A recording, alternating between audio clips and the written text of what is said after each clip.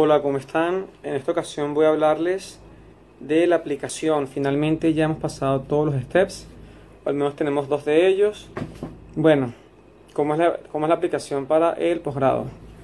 Primero, deben inscribirse en ERAS. ERAS significa Electronic Residency Application System. ¿Ok?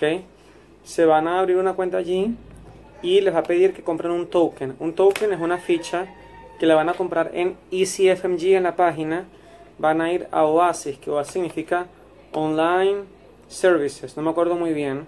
El token cuesta como ciento y pico, ¿ok? ¿Cuál es el siguiente paso, muchachos? Freida.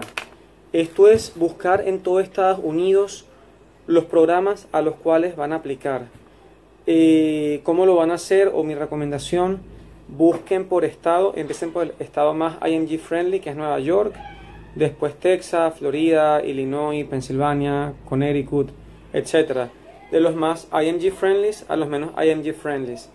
Y hagan su lista en Word con viendo qué requisitos piden, los, los puntos de corte con los, de, los, de los steps, los puntos de corte de los años de graduado, eh, la experiencia, si piden experiencia clínica americana o no y si piden research o no, que muy pocos piden research, ¿ok?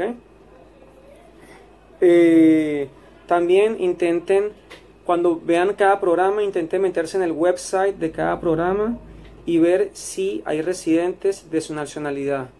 Y si es posible contactarlos, sea por Facebook, sea por Instagram, sea por email. Les mandan email, los contactan y dicen, mira, yo soy, tal persona, tengo tales scores, em, me gustaría aplicar en su programa ¿Cómo usted podría ayudarme? Eso ayuda muchísimo. Después, que tienen sus programas? Esos programas tienen que fijarse en los requirements, como le está diciendo, por ejemplo, los puntos de corte de los steps, si piden step 3 o no, no, todos piden step 3, a veces siempre piden step 3, es nada más para dar la visa H. Eh, si piden US Clinical Experience de 3 a 6 meses, hay unos que lo piden, otros programas que no lo piden el personal statement. El personal statement es un requisito básico. Ese personal statement, escríbanlo. Eh, yo voy a dejar unos links aquí abajo de cómo hacer su personal statement. Pero páguenle siempre a alguien para que les revise el personal statement a alguien experto. ¿Por qué? Porque el personal el inglés nuestra, no es nuestra idioma madre, ¿ok? Después, eh, otro requisito para aplicar por ERAS es de tener tres a cuatro cartas de recomendación, preferiblemente de esas pasantes que ustedes, hicieron aquí en Estados Unidos.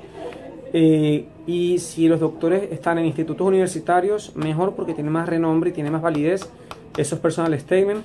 Ustedes pueden renunciar a su derecho de ver la carta o no. Preferiblemente renuncien al, al derecho de ver la carta porque se ve mejor, porque quiere decir que los doctores estuvieron influenciados por ustedes para escribir un buen review. ¿Ok? Ya después, a partir del 15 de septiembre, no me acuerdo bien, eh, como en la semana empiezan a llegar las, las invitaciones para las entrevistas, ¿sí? Las entrevistas ustedes pueden programarlas o por teléfono o en el sistema de ERAS o por email. Por lo general, traten ustedes de comunicarse por teléfono y de confirmar su, cita. ¿Sí? Eh, ¿Cómo prepararte para la entrevista? Mira, eso es súper variable.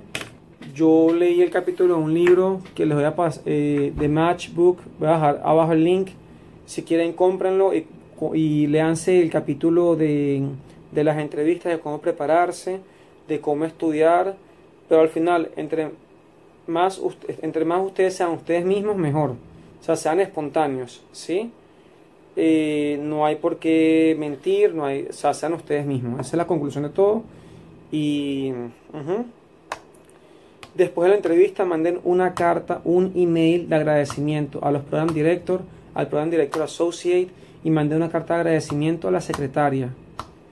Ya son las que tienen mucha, eh, mucha influencia y manden cartas de follow-up, tipo feliz Navidad, feliz año, lo que a usted le parezca pertinente. Mire, doctor, tuve el resultado del step 3, este es. ¿Ok? Bueno, eso en resumidas cuentas es todo.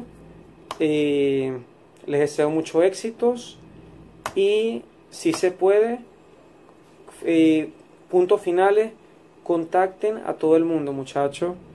Eh, toquen las puertas, ¿ok? No, no basta con nada más aplicar en el sistema, tienen que moverse para que los llamen a entrevista. Entre más entrevistas, mejor, ¿ok?